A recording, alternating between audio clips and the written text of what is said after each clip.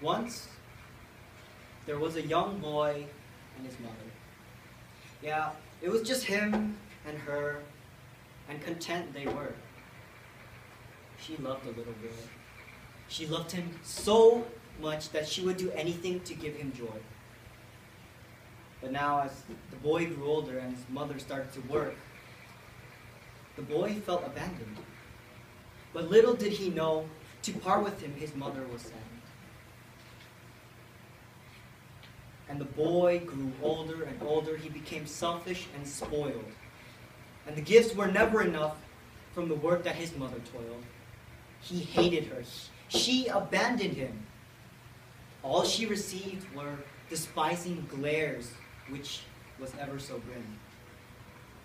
And she always wanted to cry, but she had to hold in that tear. She must persevere for him, her son, her one and only one. He was prideful and he thought he was fine on his own. He had many friends. He was always so high on his throne. But one day, one day, something happened. Something tragic. She had passed, gone like magic. At first, he could not comprehend. Then he understood. She had met her end.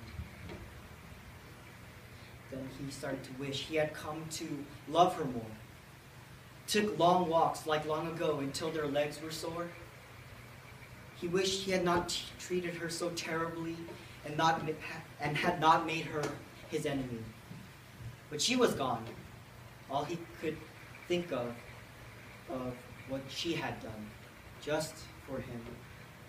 For what is so tender as her love? Maybe the big guy above. Who is as caring as her? No other. Who did he cry for in times of sadness? Her.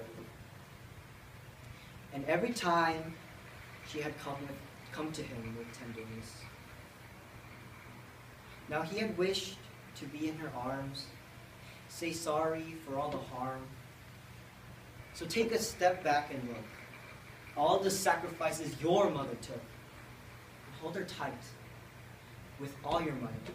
Maybe say, I love you, because she definitely does too.